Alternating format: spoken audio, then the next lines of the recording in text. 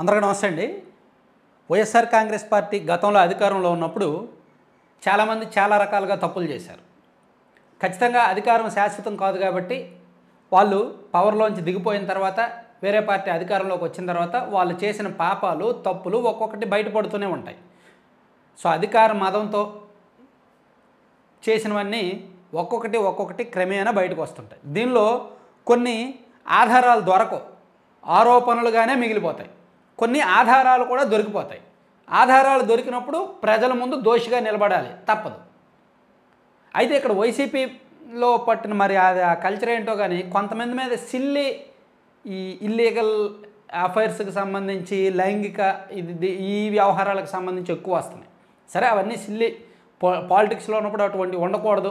ఉన్నాయి అంటే వాళ్ళు ఎంత ఘనకారులు అర్థం చేసుకోవచ్చు? అవి పక్కన పెట్టేస్తే జోగి రమేష్ గారిది మనం మొన్న చూసాం.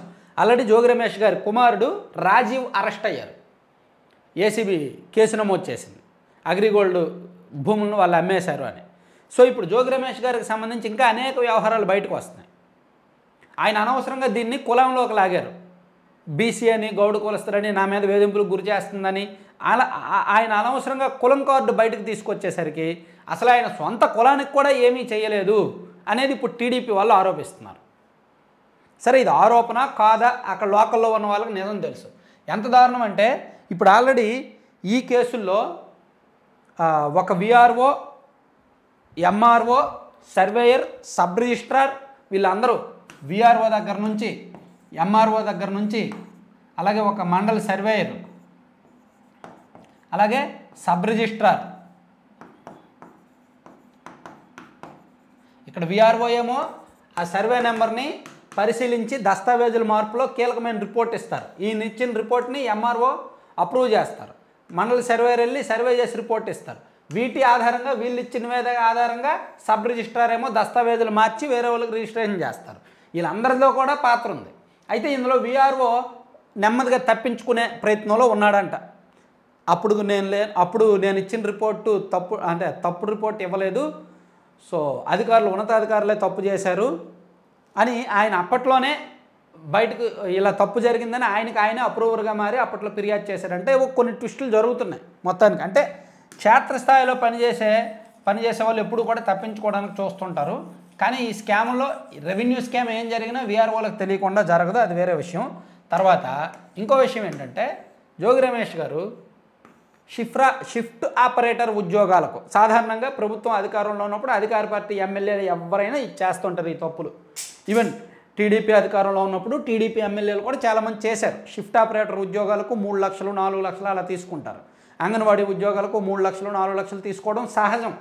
అన్ని చోట్ల చాలా చోట్ల జరుగుద్ది. నేను స్వయంగా శ్రీకాకుళము ప్రకాశం జిల్లా లాంటి జిల్లాల్లో నేను చూశాను సో ఇక్కడ జోగి రమేష్ గారు రేటు పెంచారు. ఏడు లక్షలు వసూలు చేశారంట షిఫ్ట్ ఆపరేటర్ ఉద్యోగం కోసం. ఇదిగోండి అగ్రిగోల్డ్ భూముల కబ్జా వ్యవహారంలో పీకల్లోతుగా కూరుకుపోయిన మాజీ మంత్రి వైసీపీ నాయకుడు జోగి రమేష్ అవినీతి భాగోతాలు ఒక్కొక్కటి వెలుగు చూస్తున్నాయి. విద్యుత్ సబ్స్టేషన్లలో షిఫ్ట్ ఆపరేటర్ పోస్టులను వదలకుండా జోగి రమేష్ ఆయన అనుచరులు వసూళ్ళ దందా నడిపించిన ఉదంతం తాగా తాజాగా వెలుగులోకి వచ్చింది. కృష్ణా జిల్లాలోని సబ్స్టేషన్లో పోస్టులను జోగి రమేష్ అనుచరులు అమ్మేసుకున్నారంటండి. దాదాపుగా యాభై మంది నుంచి ఏడు లక్షల చొప్పున వసూలు చేశారంట. దాదాపుగా మూడున్నర కోట్లు వసూలు చేశారంట. షిఫ్ట్ ఆపరేటర్ ఉద్యోగాలు ఇప్పిస్తాము అని. వాళ్ళందరికీ ఇప్పించాల. సో చివరికి ఒకరికి ఇప్పించిన అది టీడీపీ గవర్నమెంట్ వచ్చాక ఆ ఉద్యోగం పోయింది. పోయేసరికి ఆ డబ్బులు వెనక్కి ఇవ్వాల్సి వచ్చింది ఇచ్చారంట. ఇలా చాలామందికి ఇంకా వెనక్కి ఇవ్వలేదు.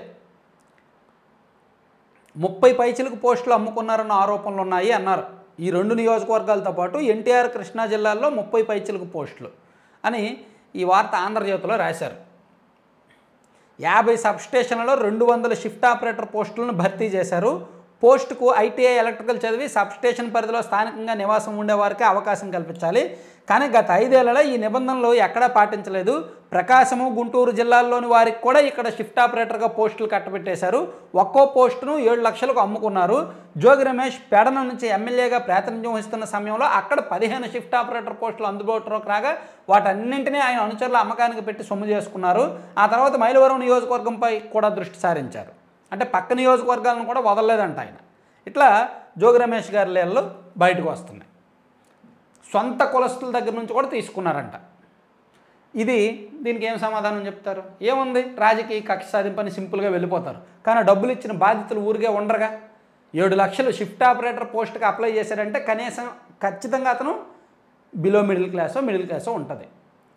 సో వాళ్ళు వాళ్ళే ఏడేసి లక్షలు లంచం ఇచ్చారంటే వాళ్ళు ఇప్పుడు ఖచ్చితంగా బయటకు వస్తారు. ఎలా బయటకు వస్తారంటే మరో మాజీ మంత్రి గారి ఉదంతం చూస్తే మనకు తెలుస్తుంది. విడదల రజనీ గారు మాజీ మంత్రి. చూడండి ఒక ఒక పెద్ద ఆరోపణ వచ్చింది. విడుదల రజని రూ రెండు పాయింట్ ఇరవై కోట్లు వసూలు చేశారు. మాజీ మంత్రి విడుదల రజని ఆమె మరిది గోపి పిఏ రామకృష్ణ అప్పటి విజిలెన్స్ ఎస్పీ జాషువా మమ్మల్ని భయపెట్టి రెండు కోట్ల ఇరవై లక్షలు వసూలు చేశారు. మా క్రషర్లో అవకతవకలు జరిగాయని అడిగిన సొమ్ము ఇవ్వకపోతే యాభై కోట్లు జరిమానా వేస్తామని క్రషర్ను సీజ్ చేస్తామని బెదిరించారు. విధి లేక ఆ సొమ్ము చెల్లించాం అని పల్నాడు జిల్లా ఎడ్లపాడుకు చెందిన లక్ష్మీ బాలాజీ స్టోన్ క్రషర్ వ్యాపారులు నంబూరు శ్రీనివాసరావు కట్టా శ్రీనివాసరావు రావిపాటి వేణుగోపాలకృష్ణ వాపోయారు. తమకు న్యాయం చేయాలని తెదేపా కేంద్ర కార్యాలయంలో బుధవారం ఫిర్యాదు ఇచ్చారు. అది సంగతి. అధికారాన్ని అడ్డం పెట్టుకొని మంత్రిగా ఉన్నప్పుడు దందాలు చేశారు. ఇదిగో మీరు ఇస్తారా చేస్తారా? ఇవ్వకపోతే మీకు ఫైన్ వేస్తాం. ఇది చాలా చోట్ల జరిగింది.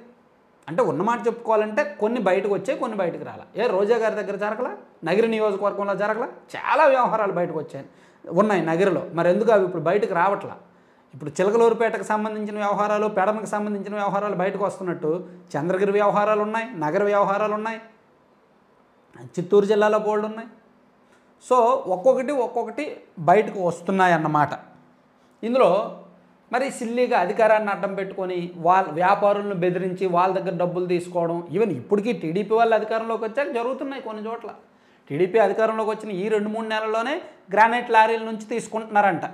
ఆ పల్నాడు జిల్లాలో ఒక ఎమ్మెల్యే ఒక ఇద్దరు ఎమ్మెల్యేలు అలాగే బాపట్ల జిల్లాలో కొంతమంది.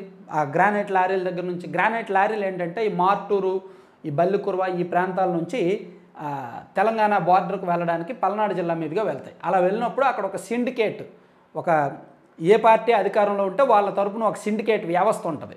వాళ్ళు ఆ లారీల నుంచి ఇంత రేటును వసూలు చేసి పోలీసులకి రెవెన్యూ వాళ్ళకి విజిలెన్స్ వాళ్ళకి పొలిటీషియన్స్కి అందరికీ ఇవ్వగా మిగిలిన సొమ్ము వాళ్ళు తీసుకుంటారు. అంటే ఒక లారీకి ఒక ఇరవై వేలు వసూలు చేశారనుకో అలా రోజుకి ఒక నలభై యాభై లారీలు వెళ్ళాయనుకోండి ఎంత అవుద్ది? ఐదు లక్షలకు పైగా రోజుకు వస్తుంది అందులో ఒక ఎమ్మెల్యే గారికి ఇంత ఇంకొక ఎమ్మెల్యే గారికి ఇంత ఇంకో పోలీసులకి ఇంత విజిలెన్స్కి ఇంత తీసి వాళ్ళకి రోజుకు ఒక యాభై వేలో లక్ష మిగులుతుంటుంది అనమాట ఇది గతంలోనూ జరిగింది ఇప్పుడు జరుగుతుంది. అయితే అది కాకుండా ఇది మరింత ఇది. వ్యాపారుల్ని బెదిరించి ఇదిగో మీరు ఇంత అవినీతి చేశారు మీ మీద కేసు నమోదు చేస్తాం వద్దు అనుకుంటే మాకు ఇంత ఇచ్చేయండి అని చెప్పి వసూలు చేయడం. ఇది మరీ దారుణం. విడుదల రజనీ గారు మంచి ఆస్తులు ఉన్నాయి ఐటీ బిజినెస్ ఉంది అమెరికాలో విపరీతం కోట్లు కోట్లు ఉన్నాయి అయినా సరే ఎందుకు పనులు? పరువు పోయింది. అంటే చిన్న వయసులో తక్కువ వయసులో ఆమెకు రాష్ట్ర వ్యాప్తంగా మంచి క్రేజ్ వచ్చింది రజనీ గారికి. Social media star. పార్టీలో తక్కువ కాలంలోనే ఆమెకు మంత్రి పదవి కూడా వచ్చింది. అటువంటిది చూడండి ఇటువంటి సిల్లి వ్యవహారాలు. ఆమె పేరు వాడుకొని ఆమె కుటుంబ సభ్యులు ఆమె అనుచరులే ఇప్పుడు తప్పులు చేశారు. ఆమె పేరు వాడుకొని. ఇప్పుడు పోయేది ఆమె పేరే కదా. సో ఇట్లా చాలామంది ఉన్నారు. చాలామంది వైసీపీ అధికారంలో ఉన్నప్పుడు చాలా వ్యవహారాలు జరిగాయి. ఒక్కొక్కటి ఒక్కొక్కటి వెలుగులోకి వస్తున్నాయి అన్నమాట. దీన్ని ఎంతవరకు నమ్ముతారు ఎంతవరకు నిజమంటారు అనేది మీ ఇష్టం. Thank you.